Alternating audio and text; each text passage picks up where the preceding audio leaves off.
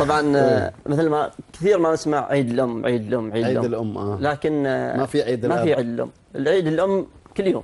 إيه. ثاني شيء ما آه يعني أنت قصدك تبى تقول لنا كل الأيام هي عيد للأب. بالضبط. فمثل بعد لازم نراعي شعور اللي الناس متوفي يومهم. بالضبط. فأنا عديت قصيدة و... جميلة هذا الموضوع. فاقول يتيم الأم شو وضعه؟ صحيح. يقاسي حزن فرقاها. الله عليك. يضم ثيابها ويحضن صورها والله على صدره. وحنا نحتفل في يوم عيد الأم ندراها هدايانا كثيرة فاحت بريحان مع عطرة.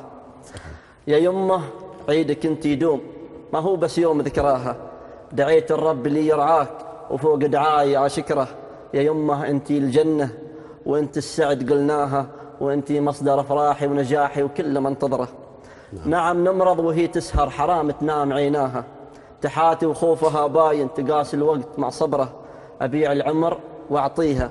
أبيع العمر وأعطيها يكفيني أن أرضاها. وخادم لجلها دايم مطيع الشور مع عمره. ويتيم الأم لا تحزن ترى الدعوات تنصاها. عساها في جنة الفردوس قبرها فايح عطره.